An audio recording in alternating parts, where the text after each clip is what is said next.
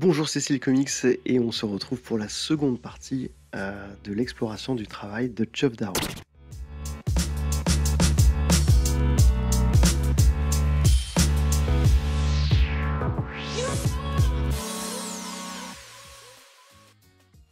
Donc comme je vous l'avais dit, euh, après une, un, premier, euh, un premier passage sur le- les débuts de Geoff Darrow, en tout cas sur son, son premier, première série Hardboiled, et puis euh, un, petit, un petit détour euh, par ses designs pour le film euh, Matrix, je vous propose d'explorer un petit peu plus sa, dernière œuvre en date, Shaolin Cowboy, qui est aussi une œuvre vraiment passionnante à bien des égards, et je vais essayer d'y revenir, qui, où je trouve que les, les qualités qu'on pouvait apprécier déjà dans Hardboiled se retrouvent ici au centuple.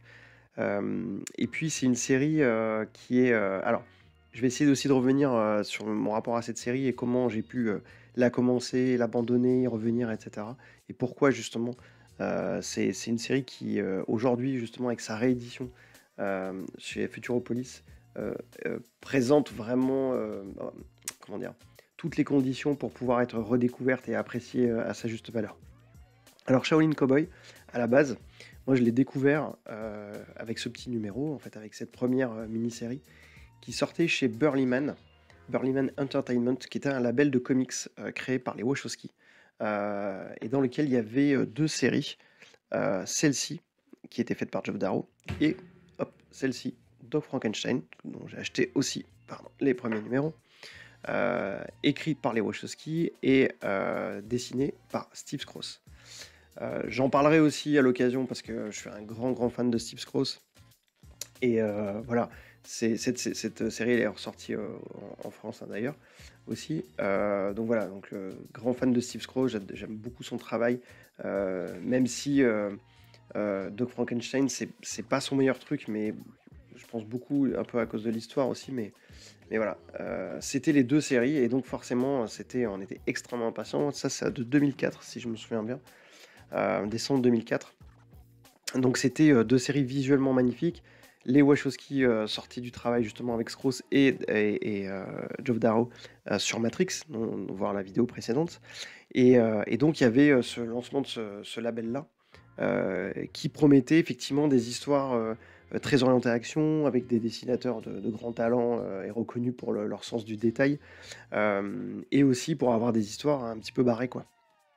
Et Shaolin Cowboy, dès le titre et dès le, look de ce personnage-là, on sait qu'on est là-dedans, entre quelque chose qui semble mêler euh, euh, John Wayne et euh, Kane de la série Kung Fu, euh, mêler euh, le- les, tous les films d'arts martiaux avec euh, euh, des univers euh, complètement euh, euh, futuristes et, euh, j'allais dire même euh, apocalyp- post-apocalyptiques, euh, euh, façon Ken le Survivant, avec euh, des personnages complètement barrés, on va y revenir aussi. Et puis, euh, et puis aussi un humour euh, qu'on découvrait un petit peu. Euh, parce que on- si on avait lu que Hardboiled, où effectivement il pouvait y avoir un ou deux trucs drôles, mais on, voyait plus dans le scénario, même si des fois dans les, paysages et les planches de Jeff Darrow, il y avait des, mises en scène euh, assez drôles.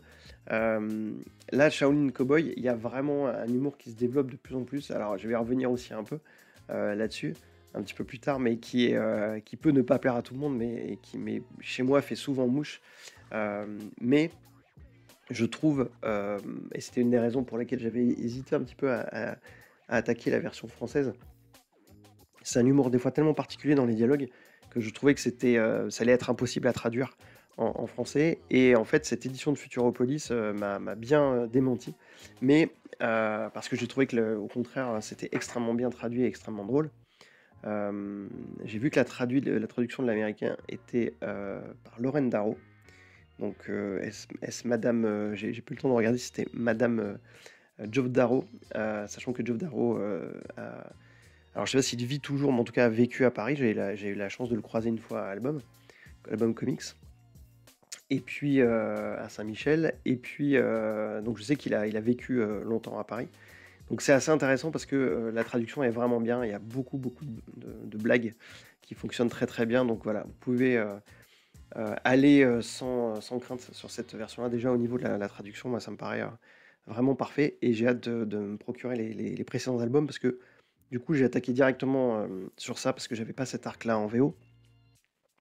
Et comme vraiment, je vais y revenir, mais l'édition est de grande qualité, je vais très vite me procurer les, les précédents tomes.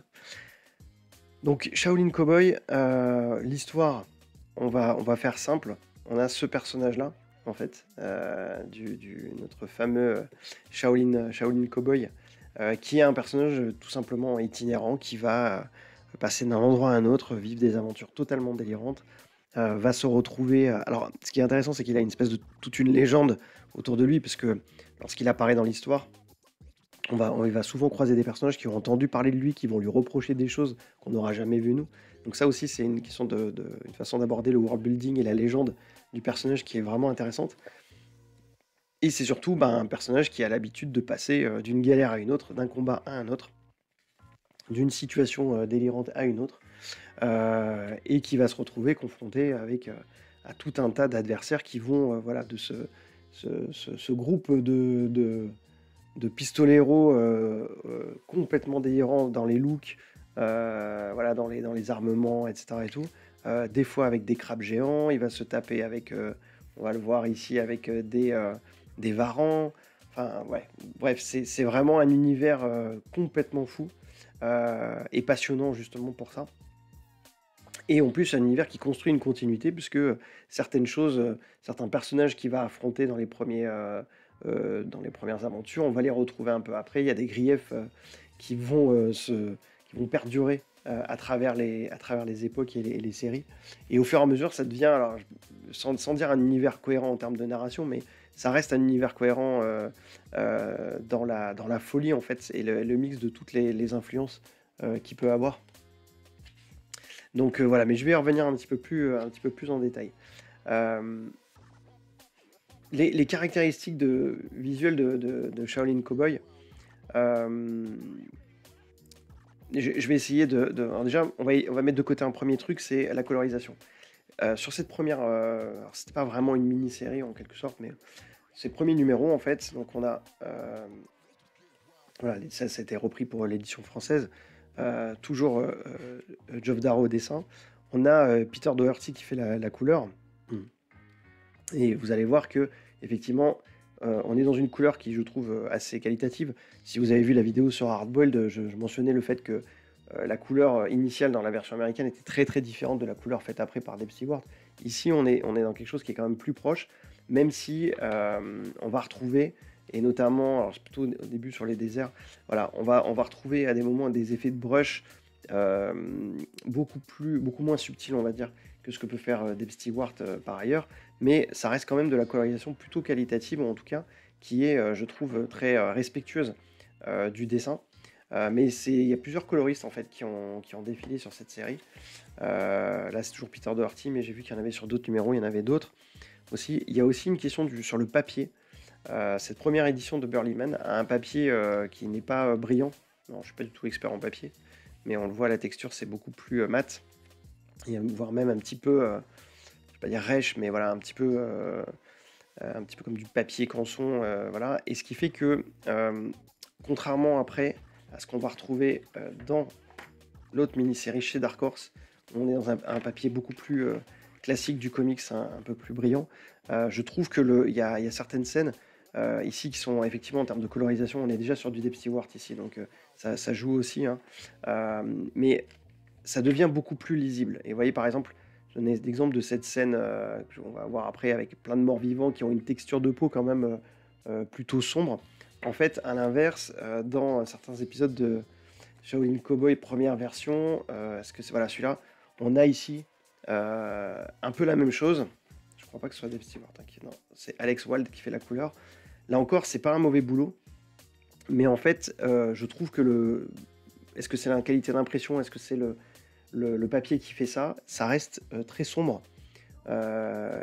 D'autant plus que le coloriste a rajouté tout un tas de, textures d'ombre et d'effets sur chacun des corps. Alors, on va dire que c'est tout à son honneur de s'être employé à faire ça mais euh, je trouve que les contrastes ne sont pas hyper visibles. Là, tous les ossements euh, euh, sur, le, sol, pas facile à lire. le temple aussi, pas simple non plus.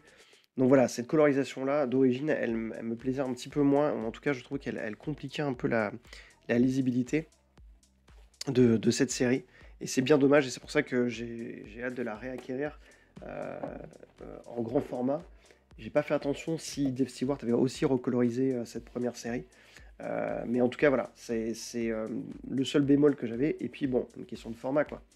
Euh, j'ai pas, je peux pas vous comparer des planches, mais euh, parce que c'est pas la même édition, mais euh, voilà, quand on prend ça et qu'on prend une planche de cette taille-là, c'est clair que je vais dézoomer un petit peu parce que ça rendra la, comparaison un petit peu plus évidente. Voilà, bah, c'est quand même plus appréciable d'avoir ce format-là sur du Jove Darrow que ce format-là, et d'autant plus, comme vous le voyez, quand c'est assez sombre, bah voilà, la lisibilité, elle est, compliquée en fait.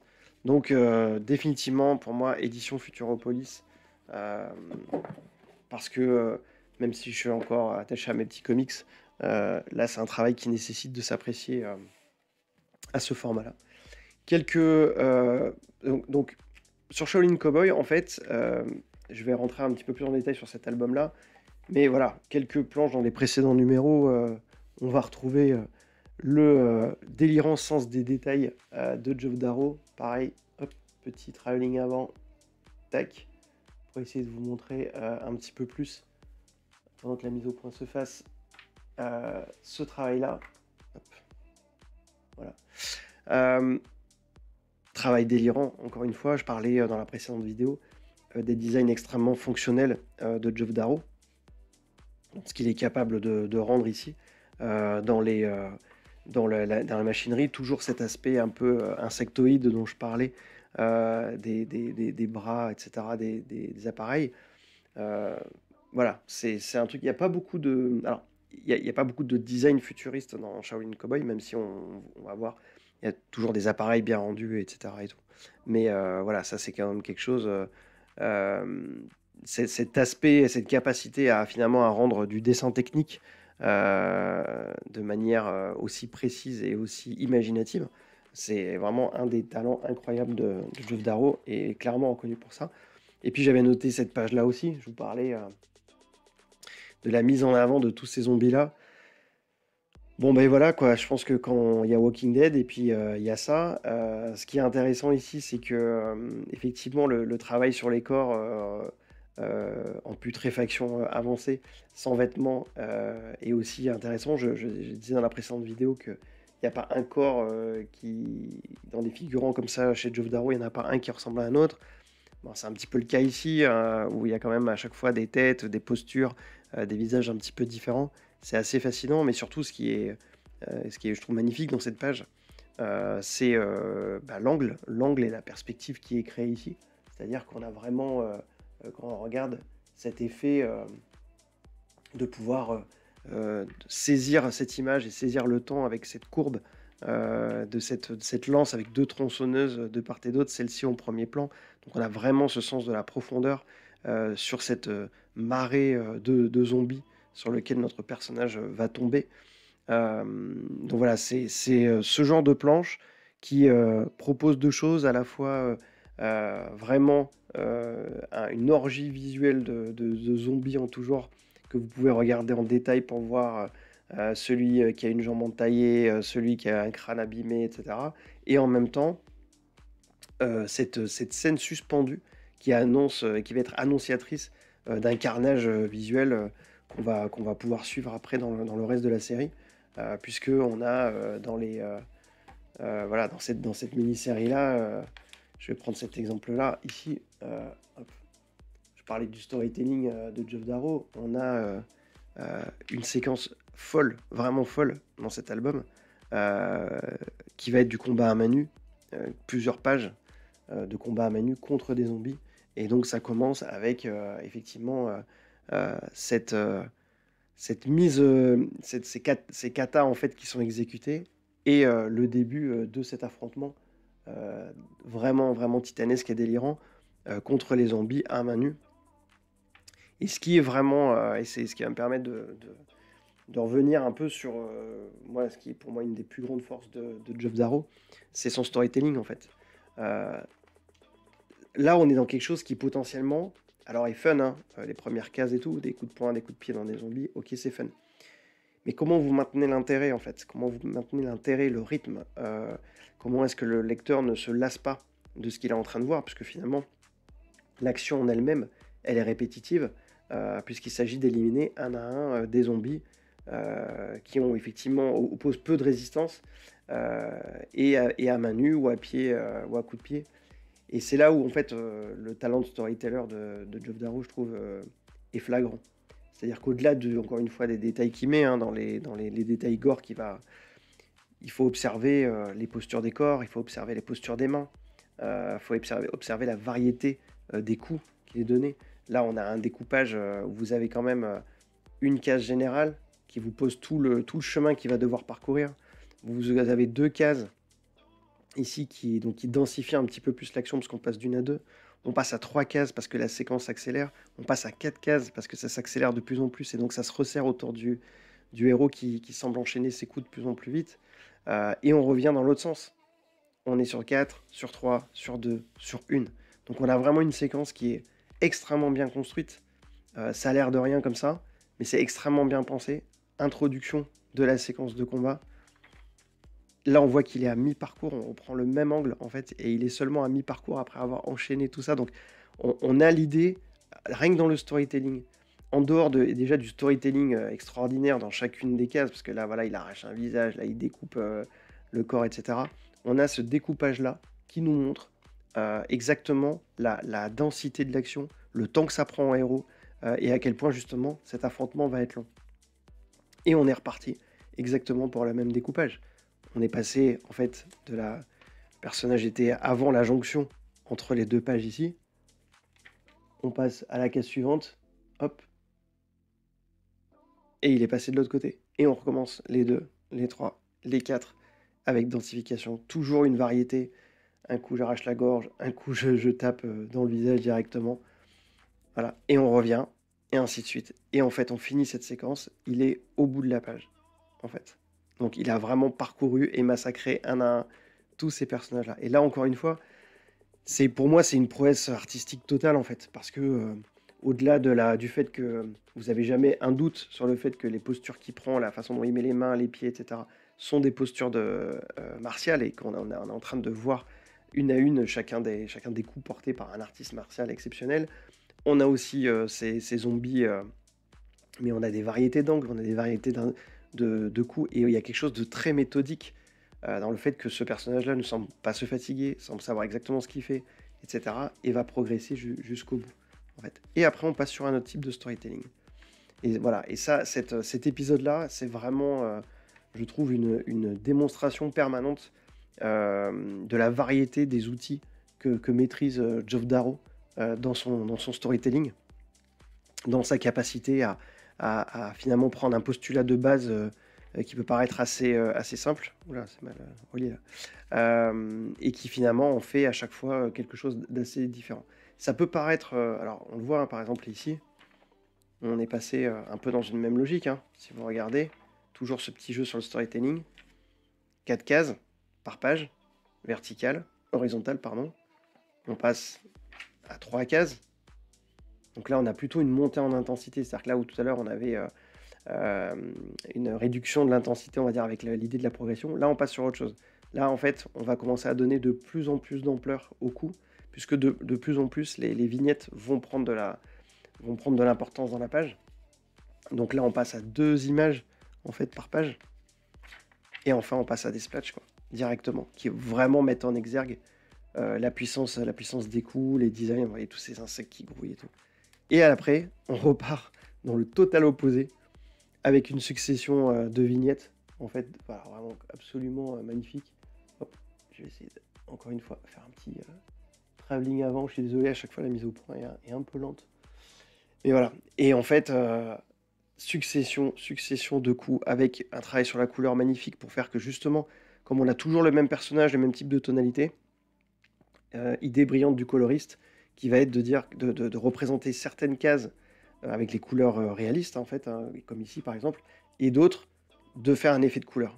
Donc du jaune par exemple ou au contraire des couleurs plus, saturées ici, pour quand même donner un effet mosaïque et faire qu'en fait on arrive quand même à assimiler et à distinguer les différentes cases. On est presque dans du noir et blanc ici et cetera Il n'y a pas forcément de, justification, euh, je dirais, narrative, en fait, à ça. En revanche, c'est un procédé qu'on a déjà vu au cinéma. Euh, je crois dans Kill Bill notamment, lorsqu'il passe en noir et blanc à un moment donné, ou dans d'autres films en fait on a d'un coup l'application d'un filtre de couleur pour donner, euh, De Palma le fait aussi, une, une, certaine intensité. Donc là par exemple on va augmenter l'intensité gore avec un filtre rouge, etc. Donc voilà, c'est vraiment brillant et il fait encore une fois un jeu de symétrie avec cette première grande, grande case et cette multiplication, et à nouveau cette multiplication de vignettes et cette nouvelle grande case. Donc voilà, euh, ça montre que euh, même sur un postulat, euh, j'allais dire, avec un épisode qui est globalement le Shaolin Cowboy à Manu qui tape des zombies, et eh bien vous avez quand même quelqu'un d'un grand talent et puis parfaitement accompagné d'un coloriste qui a compris ce qu'il fallait faire, qui va vous offrir un morceau de bravoure visuel, mais surtout en termes de storytelling, pour faire que bah, en fait, vous n'allez pas vous lasser de chacune des cases et il va lui-même utiliser toute une, grammaire de découpage pour pouvoir euh, densifier, avec euh, aussi cet effet hein, euh, qui est encore une fois hein, très cinématographique. On part d'un ici d'un plan plutôt serré du personnage et on va dézoomer au fur et à mesure, en tout cas faire ce travelling arrière de plus en plus marqué pour montrer tout le chemin parcouru à travers cette horde de, de, zombies, quoi, en fait. Donc voilà, donc c'est euh, un, des, voilà, un exemple de ce que vous pouvez trouver euh, en storytelling, mais je vais revenir un petit peu euh, là-dessus. Shaolin Cowboys, donc les, vous pouvez y aller sur les, premières séries, elles sont d'un niveau qualitatif identique à ce dernier album qui, qui, est sorti chez Futuropolis, avec ce titre Pour une poignée de beauf qui m'a fait beaucoup rire, qui est une petite référence évidemment à Pour une poignée de dollars, avec Clint Eastwood. Le micro, ça sera mieux. Donc je vous disais une, belle édition euh, qualité en termes de, euh, bah, de bouquins déjà. Euh, belle couverture, bon papier. Enfin, vraiment, j'ai beaucoup beaucoup aimé cette édition-là. Le, travail de couleur et de traduction assez exceptionnel aussi. Et qui me permet en fait aussi de, montrer comment, vous parler un petit peu comment les qualités, je trouve, de, de Darrow explosent littéralement euh, et sont vraiment à son, paroxysme dans Shaolin Cowboy. Donc même si vous avez été euh, euh, peut-être un peu rebuté par le, concept, qui peut paraître un peu, un peu idiot, franchement allez-y parce que c'est une série d'une grande richesse et qui, et c'est quelque chose que j'aime bien, sous ces airs un peu, un peu basiques, en fait, cache plein d'autres choses. Il y a plein de choses à offrir à ses lecteurs au-delà des détails, parce qu'encore une fois, je, l'ai dit avant, mais euh, bien sûr que c'est une orgie visuelle et un bonheur absolu de voir euh, quelqu'un maîtriser euh, ce niveau de détail en fait dans, un, dans un dessin. Mais pour moi, il y, a vraiment plein d'autres qualités à côté desquelles il ne faut pas passer pour apprécier vraiment le travail de Geoff Darrow. Et voilà, donc on retrouve évidemment le genre de ville euh, que Geoff Darrow euh, aime dépeindre, très, très complexe, très détaillé. On va voir aussi que dans ces épisodes-là, euh, et c'était le cas déjà dans la première, dans la série juste avant de Shaolin Cowboy, il y a, une omniprésence des animaux. alors on va avoir des varans, on va avoir des chiens, on va avoir des cochons, on va avoir plein de types de chiens à un moment donné, plein de types d'animaux. là encore une fois, qu'est-ce qui fait que Geoff Darrow a envie de s'astreindre à dessiner des dizaines et des dizaines de chiens, des dizaines et dizaines de, de varans en tout genre dans une série, c'est assez fou ce degré de, de, défi à soi-même euh, que, l'artiste se lance à chaque fois. Euh, je vais parler un peu de storytelling parce que, euh, évidemment, comme je vous, ai déjà dit, hein, c'est quelque chose qui me fascine chez Geoff Darrow et quelque chose qui, je trouve, n'est peut-être pas assez mis en avant dans son travail. le storytelling ici, je parlais de la fin de la temporalité. Les arts martiaux se prêtent vraiment à ça. Et, là, ce que je, trouve vraiment chouette, c'est qu'on a un bon panel de techniques qui sont à la fois des techniques de comics, des techniques cinématographiques et des façons de gérer en fait le mouvement et le temps et la vitesse de façon complètement différente. Euh, dans une scène qui paraît assez simple, qui est en gros un gros lézard qui attaque le héros et le héros lui met des tatanes et c'est un affrontement martial entre les deux. On a ici euh, le truc assez traditionnel euh, bah, de, la décomposition d'une action, hein, du, varan euh, qui attaque ici, et puis du héros qui lance son, pancho derrière, euh, donc avec une scène de ralenti, tout simplement, un peu, un peu figée. on est dans un enchaînement de coups assez classique, en fait, qu'on va avoir ici. Mais qu'est-ce qu'on voit aussi? On voit qu'il y a un truc qui est très cinématographique, qui est, qui est vraiment lié au montage, à des, séries de montage.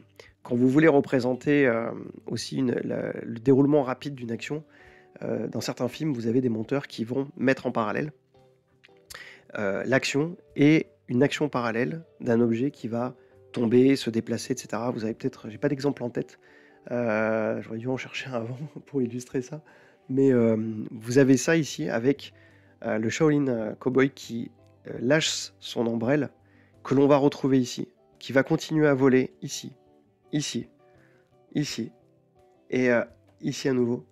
Et en fait, ce montage-là, cet effet de montage, en fait, de montrer cette, euh, cette ombrelle qui va, qui va voler, qui va se déplacer pendant tout le reste du, du fight, en fait, c'est extrêmement cinématographique. C'est des plans qui n'ont pas d'utilité en soi dans le récit, mais qui apportent à la fois un peu de poésie et en même temps euh, donnent l'impression euh, que pendant que cette ombrelle est en train de voler très lentement dans le ciel, vous avez cet affrontement brutal qui, se déroule. Et, j'ai trouvé l'idée assez brillante. Euh, parce que c'est effectivement euh, se rajouter encore du travail sur des pages déjà bien remplies, mais en même temps apporter euh, une forme de légèreté un peu zen justement à la séquence et j'ai trouvé ça assez brillant. Et puis on a encore une fois cet usage très graphique hein, et qui encore une fois est un peu qui est celui de la persistance rétinienne de l'effet qu'on retrouve par exemple dans Spider-Man, des choses comme ça, où le personnage décompose ses mouvements en plusieurs images. Bah là voilà, on a, on a à nouveau ça, on a cette, cet effet de coup donné par la queue où on va voir plusieurs fois l'image de se, multiplier. Donc voilà, donc on a ces, toutes ces techniques là, en fait, on les retrouve encore ici, en fait, et puis avec, avec des choses finalement qui ne sont faisables que en comics et en même temps, euh, on voit qu'il maîtrise aussi parfaitement le langage euh, cinématographique dans, ses découpages. Et on voit aussi ici que euh, on est dans un découpage quand même assez dense. et ça va être le cas en fait dans, cette BD où on va. Et je trouve que c'est mieux maîtrisé, comme je disais dans la précédente vidéo, que dans Hard Boiled, où des fois on avait un peu l'impression que il y avait une cohabitation entre un découpage comics assez classique en quelques cases avec des fois des, des, scènes extrêmement denses. Là, je trouve que de plus en plus sur Shaolin Cowboy, euh, on, voit la progression de, la façon dont, je trouve Geoff Darrow arrive à totalement maîtriser euh, son storytelling euh, de A à Z et faire qu'en fait on n'a plus cette sensation de rupture dans le, dans découpage et ça devient beaucoup plus fluide et organique je trouve dans, l'enchaînement quoi. Après voilà ça c'est une appréciation très très très personnelle mais voilà on retrouve évidemment cette ces, scènes ultra, ultra détaillées, mais en fait, euh, là, j'ai pris cette page-là parce que euh, pour plutôt saluer le travail euh, de la colorisation de Dave Stewart sur plusieurs choses. Alors, déjà, Dave Stewart, je trouve que c'est un, alors, c'est un artiste, bon, mais qui travaille avec une équipe hein, pour tous les, les, aplats, etc. Mais c'est un artiste assez fascinant dans la colorisation parce que déjà, c'est un artiste qui, qui s'adapte euh, parfaitement au dessinateur. Il, a, il, a, travaillé avec Darwin Cook, il a travaillé avec, euh, euh, Mike Mignola, ici avec Joe Darrow. C'est des dessins tellement différents que hum, ça l'oblige à réinterroger sa colorisation. et à chaque fois, il arrive à trouver une façon de coloriser qui, qui, va parfaitement avec le style de dessin. Quand on y réfléchit, c'est pas toujours le cas. parfois, certains coloristes amènent leur style qui se plaque au dessinateur avec des résultats plus ou moins bons. Euh, Dave Stewart, j'ai toujours l'impression qu'il est capable de complètement réinventer euh, sa façon de faire, même si on trouve des petits, euh, points communs. Par exemple, ces textures de brush ici, dans les nuages, ou ces effets un petit peu de saleté qui fait. C'est un, point qu'on retrouve un petit peu dans, Hellboy ou, chez Darwin Cook ou chez. Euh, ah, ça m'en revient plus. Il y a un autre artiste qui colorise comme ça aussi, où en fait il apporte euh, des, nuances dans la texture de peau. il le faisait chez Darwin Cook dans euh, New Frontier. Où en fait on a l'impression que c'est une espèce d'aplat, et en fait pas du tout. Quand on regarde un petit peu plus en détail, il y a des, effets de brush à la colorisation, mais qui sont très bien faits en fait. C'est pas les effets de brush années 90-2000 très marqués où on voit vraiment Non, en fait c'est un mélange beaucoup plus fin euh, c'est un peu ce que fait euh, Mike Spencer sur euh, Daniel Warren Johnson, je trouve. Et j'aime beaucoup ce, style-là en fait. Ou aussi un autre, un autre coloriste que j'aime beaucoup, c'est Jean-François Beaulieu sur Scotty Young. Il donne l'impression en fait de sortir une palette de couleurs très, très vive. Et en fait, quand on regarde un petit peu en détail, on voit que c'est extrêmement nuancé, extrêmement texturisé, mais pas de manière, j'allais dire, outrancière. Et puis voilà, on voit cette, dans cette case-là, le travail sur l'ombre, le travail sur les ambiances. En fait, ici, on a une température de couleurs qui, qui, contraste, qui fait très froide par rapport à ici ou avec l'exposition euh, au soleil et du, désert. Euh, voilà, c'est pas, pas un détail, c'est vraiment l'ambiance euh, qui est d'un grand réalisme, je trouve, par rapport à ça. Et ce travail de. Et on, le voit dans cette planche-là, finalement, dans Shaolin Cowboy, on a souvent du désert, du désert, du désert, en termes de colorisation, pour arriver à traduire des ambiances euh, et, faire une grande variété d'ambiance, c'est pas évident. Et puis aussi, voilà, vous avez euh, ce niveau de détail. je l'avais montré dans les, dans les tout premiers euh, Shaolin Cowboy. C'est vrai que les effets, je vais essayer de, ressortir le tout premier. les effets de colorisation sur le désert étaient, je trouvais un petit peu trop. je vais prendre celui-là, voilà. Les, les, ombres en fait étaient étaient plutôt bien faites, hein, c'était pas le, problème, mais je trouvais que le travail de, des broches étaient quand même un peu, euh, un petit peu trop marqué. Euh, ça joue vraiment dans l'idée d'accentuer les volumes et d'accentuer le réalisme. Donc je trouve, encore une fois, c'est bien fait. Mais je, préfère la façon dont Geoff Darrow, non, pardon, Dave Stewart le fait ici, de manière beaucoup plus subtile. Parce qu'il y a quelque chose de tellement déjà euh, détaillé que si vous en rajoutez en plus dans des jeux d'ombre inutiles, ça surcharge complètement la planche. Et puis il y a un autre point aussi, c'est que, euh, et c'est là où je trouve c'est très très intelligent dans ce travail de, colorisation, j'essaie de prendre une autre page quand même, voilà, c'est qu'en fait, comme je disais euh, précédemment, il y a, y, a, je trouve, un côté très ligne claire euh, dans le dessin de, de Geoff Darrow. Il n'y a pas d'aplat d'ombre, il n'y a pas des recherches de lignes trop marquées même si effectivement il n'a pas du tout une ligne monotone en termes d'ancrage, mais euh, on n'est pas dans ce style à la Chris Samney ou à d'autres artistes en fait, euh, ou des artistes comics euh, comme Jamie Lee, tout ça et tout, où vous allez avoir quand même beaucoup de détails, beaucoup d'utilisation du noir. Chez Jeff Darrow, c'est le détail qui fait la densité, qui fait le volume, et pas les aplats noirs ou, des, espèces de, petits picots ou de, ou de, de qu'on appelle ça de je perds mes mots, euh, de quadrillage ou de hachure, voilà, pardon, qui, comme le fait Jim Lee, pour donner du volume. Là, on est vraiment dans une approche claire, et je trouve que justement, la colorisation est exactement pensée pour ça. C'est-à-dire que vous avez une sensation d'une couleur unique, euh, qui est comme on peut le trouver dans les aplats de couleurs chez Tintin, etc. Et tout, mais donc qui, respecte euh, cet aspect claire, et en même temps, pardon, qui en même temps est suffisamment nuancé pour donner, pour renforcer le réalisme en fait que donne le dessin. Je ne sais pas si c'est très clair dans mon explication, mais euh, voilà, moi, c'est ce que je ressens et, j'ai mis un petit peu de temps avant d'apprécier en fait euh, justement la, richesse de ce travail-là et, à quel point c'était une démarche extrêmement intelligente euh, dans la colorisation et qu'il ne s'agissait pas juste de, de, mettre une couleur différente dans les choses pour les distinguer les unes des autres, ce qui est quand même déjà en soi un travail compliqué à faire chez Geoff Darrow, mais vraiment une façon de, coller au style euh, graphique, euh, je trouve, de, l'artiste. Parce que quand vous avez des planches comme ça, vous allez avoir aussi bien euh, des sacs poubelles qui volent, des batraciens en tout genre, voilà, à rendre. Et ben, il faut la palette de couleurs à choisir et les nuances à, à, poser sont quand même assez complexes pour que ça reste, que ça reste lisible, en fait. Un autre, une autre page qui m'a fasciné aussi par sa, par sa densité visuelle et narrative, euh, on a ce, personnage complètement délirant qui est sur une méduse euh, gigantesque qui va euh, utiliser une énergie, je crois que c'est le chi d'ailleurs, pour piloter en fait et prendre possession de, cette 4L. D'ailleurs, je crois que c'est une 4L si je me souviens bien. qui pour poursuivre le héros. en fait, quand vous regardez le, pareil, le storytelling, Pourtant, les cases sont petites, mais ça reste d'une lisibilité incroyable.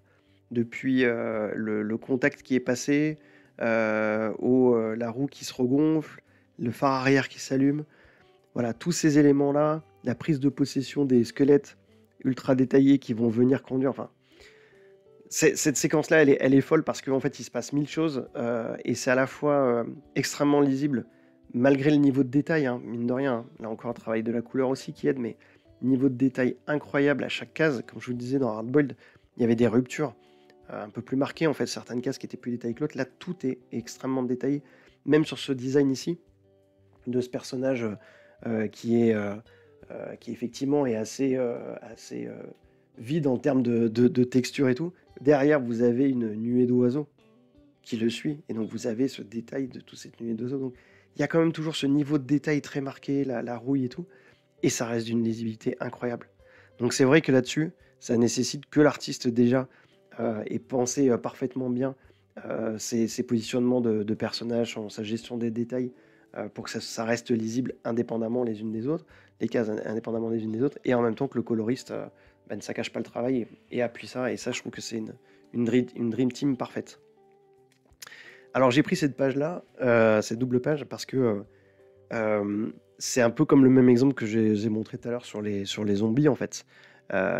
si ce n'est que là, la difficulté, elle est, elle est poussée encore un peu plus loin, parce que là, on a carrément des oiseaux, donc on a des plumes, on a des ailes, on a une anatomie des oiseaux qui est quand même complexe à manier pour les, les, oiseaux en vol, etc. Euh, on a mille postures euh, d'oiseaux, mille formes d'ailes. Euh, on a un massacre qui est, qui est assez délirant aussi parce que c'est comme une séquence martiale extrême de sortie des oiseaux d'Hitchcock. et en même temps, on a, je trouve, une, encore une fois, un équilibre assez extraordinaire avec en plus ces, ces onomatopées qui sont à l'extérieur, qui ne viennent pas euh, alourdir l'image, mais qui sont à l'extérieur, ce que je trouve encore une idée de génie. Euh, et, en fait, euh, ce qui est, je trouve, vraiment, vraiment intéressant là-dedans, c'est que les oiseaux sont tous très détaillés, mais le personnage reste parfaitement lisible et on a cette espèce de cacophonie visuelle et sonore du coup avec les onomatopées qui entourent le héros, tout en sans jamais en fait que le l'ensemble des mouvements qui sont très nombreux et puis c'est toujours un peu compliqué euh, quand vous avez euh, les zombies tout à l'heure étaient statiques, donc on avait quelque chose qui était euh, plus facile à lire. Là, vous avez une espèce de, cohue délirante de mouvement en fait, puisque chaque oiseau apporte son, propre mouvement. Donc ça pourrait complètement foirer en termes de, lisibilité du personnage. Je vais prendre la page d'avant aussi, où c'est pareil en fait, où vous avez en fait la posture du personnage qui reste parfaitement lisible et l'enchaînement qui reste parfaitement lisible. Et pour autant, les oiseaux autour ne font pas figer. Ils ont tous, euh, pareil, leur sens, leur mouvement. Donc euh, voilà, c'est une gestion, euh, je trouve, de, de décor qui est vraiment passionnante chez Job Darrow. c'est encore un autre aspect sous-estimé selon moi, c'est que au-delà, bien sûr qu'il maîtrise l'anatomie des personnages, mais pas que, il maîtrise l'anatomie des animaux. il sait choisir les angles, les façons de les rendre crédibles dans leur façon de se déplacer. On le voit avec les varans dans ces séquences-là aussi. Euh, c'est pas c'est pas que la texture de, des écailles, c'est aussi la forme des pattes, la façon dont ils vont se, déplacer. Euh, c'est un travail euh, vraiment vraiment extraordinaire et sans doute un travail de documentation très poussé qui, qui doit être salué. donc voilà, on revient juste sur des, scènes urbaines parce qu'il y a des scènes urbaines dans cet album-là et on retrouve avec, avec grand plaisir euh, parce qu'on a pu aimer dans d'autres travaux de Geoff Darrow avec euh, cette, euh, ces représentations des villes bardées de, de câbles, de climatiseurs, de choses délirantes comme ça, qui peuvent évoquer effectivement des, pour le coup l'imagerie qu'on avait retrouvée dans des mangas, avec des villes qui, font très Tokyoï, tout très ville japonaise. bardées comme ça de fils, de fils apparents. Mais il y, a aussi ce côté extrêmement décadent que j'aime beaucoup. J'en parlais tout à l'heure dans le, dans, la précédente vidéo sur le côté euh, décadent des univers de Geoff Darrow. Euh, là, ça se voit particulièrement dans Shaolin Cowboy. Euh, ce sont des mondes qui sont des fusions de beaucoup d'influences, de beaucoup de mondes. Là, c'est très très marqué américain parce que vous avez énormément de références à Trump, à l'Amérique, à l'Amérique actuelle, encore Trump Tower, etc. Et tout. Il y a vraiment une grosse grosse charge sur le consumérisme, euh, l'ultra-présence de, des armes, de la sexualité, on le retrouve ici, ici avec les armes. Euh, toutes les dérives religieuses, les, dérives politiques, euh, les mouvements d'extrême droite, etc. Et tout. Il y a vraiment tout ça. Cet univers-là est loin d'être optimiste, vraiment clairement. On est dans un, dans un monde au bord de l'apocalypse, au bord de la chute, qui voire même est déjà dans un, dans un degré de décrépitude qu'on retrouve dans les décors et de décadence très très très avancé. Euh, et ça aussi, je trouve que c'est fascinant de, de se pencher sur cet univers-là et, et de regarder un petit peu plus en détail, notamment toutes les pubs, etc.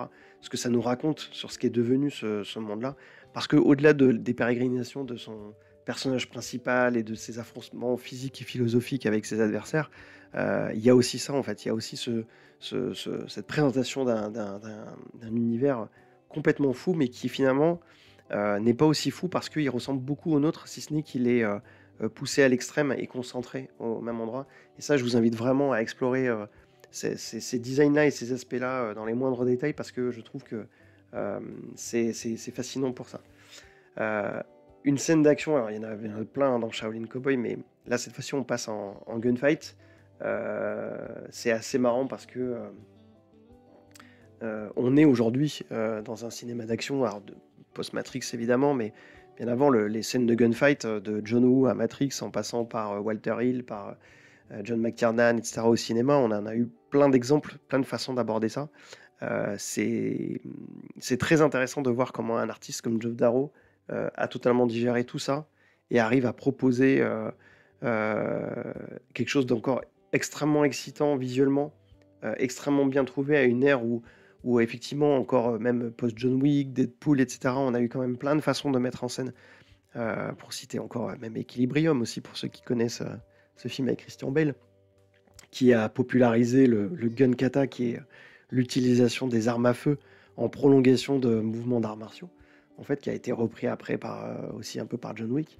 Euh, donc voilà, ce- cette, cette approche-là, elle euh, elle elle a tout à fait sa place dans, dans Shaolin Cowboy, bien évidemment, parce que Shaolin et Cowboy, donc armes et arts martiaux.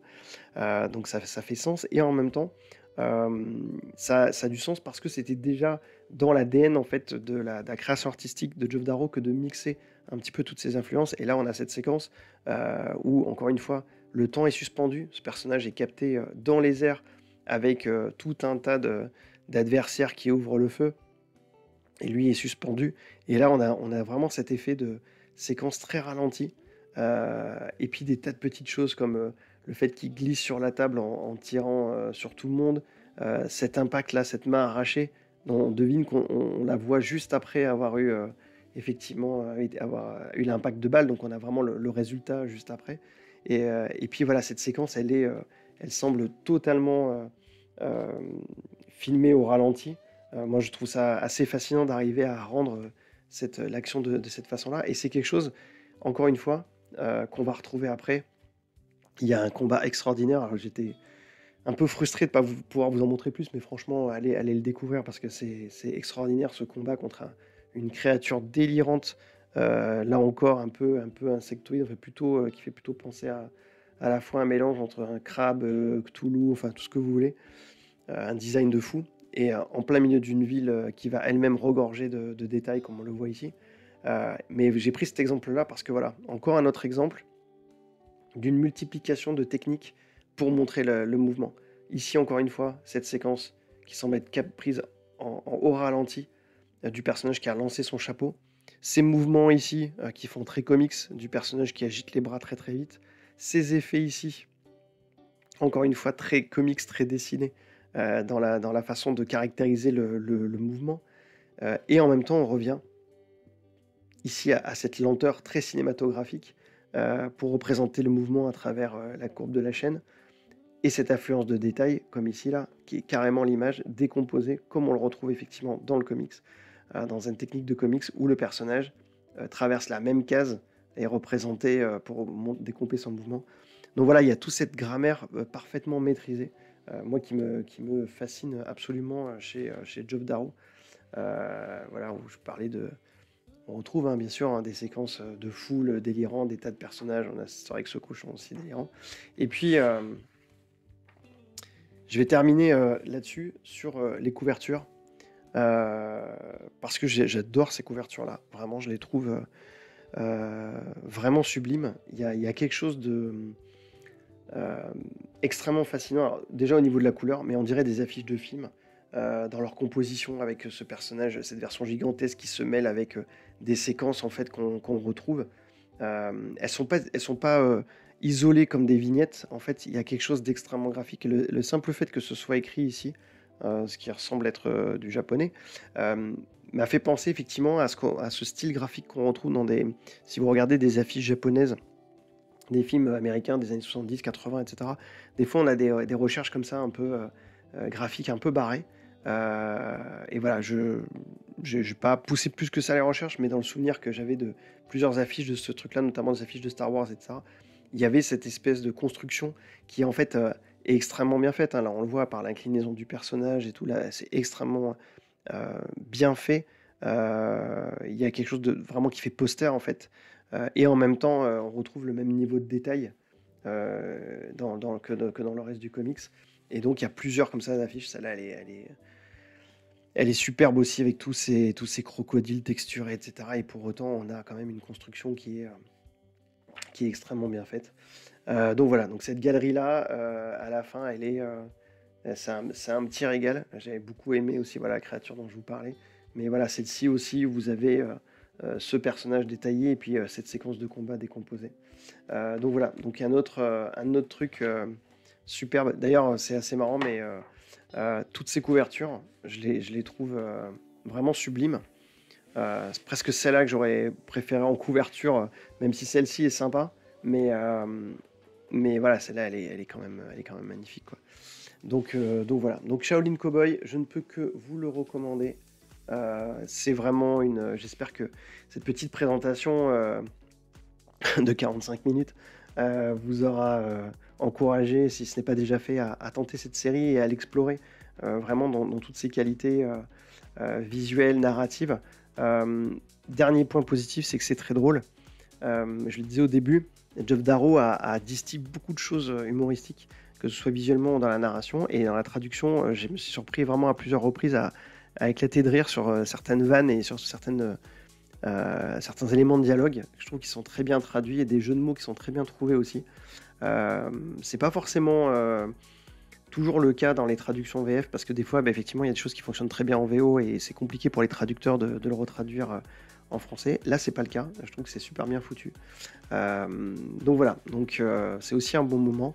Euh, que de lire Shaolin Cowboy. Donc voilà, bah écoutez, n'hésitez pas à me dire en commentaire euh, si vous avez aimé euh, cette série, si vous lui avez donné sa chance en édition américaine ou, ou Futuropolis. franchement, plutôt tentez Futuropolis si vous pouvez. et puis si comme moi vous avez les, éditions américaines, ben, ça vaut vraiment le coup de, les reprendre dans ce format-là. J'ai redécouvert plein de choses que je n'arrivais pas, que je n'avais pas vu la première fois. Euh, en lisant à ce format-là. Faut, faut pas se mentir, c'est pas seulement pour voir chaque buisson ou chaque rocher, c'est vraiment aussi pour pouvoir mieux appréhender euh, l'équilibre des planches et le découpage.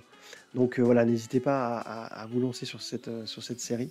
Et puis je vous donne rendez-vous, donc comme je l'avais dit, pour une, autre vidéo très prochainement que je vais enregistrer dans la foulée sur deux autres artistes aussi qui ont, qui ont des styles aussi très très très détaillés et que je trouve intéressant d'étudier aussi, ou en tout cas si vous avez euh, aimer ce que fait Joe Darrow, mais que effectivement vous avez déjà tout et que vous cherchez euh, des artistes un petit peu euh, proches, ben voilà, ce sera deux petites recommandations et peut-être deux petites découvertes pour vous. Écoutez, merci beaucoup d'être arrivé encore jusqu'au bout de cette longue vidéo. je vous donne rendez-vous très bientôt. Merci pour votre, votre soutien, votre fidélité, vos commentaires. N'oubliez pas d'activer la petite cloche parce que je vois bien que les abonnés ne sont pas forcément alertés de la sortie des vidéos. Euh, donc voilà, et puis euh, un gros merci pour votre soutien et, et je vous donne rendez-vous très très vite. À bientôt, ciao